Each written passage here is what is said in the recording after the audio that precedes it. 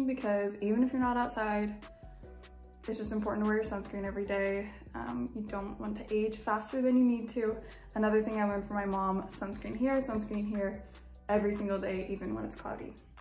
And I grew up in Malibu, so the sun is pretty much always shining.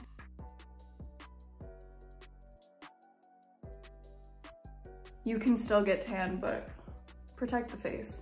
And it's funny because the one thing I get from makeup artists the most is that my face is 10 shades lighter than my body and they never know what makeup to put on my face because as you can see, my body's a lot darker than my face, but that's because I'm wearing my sunscreen.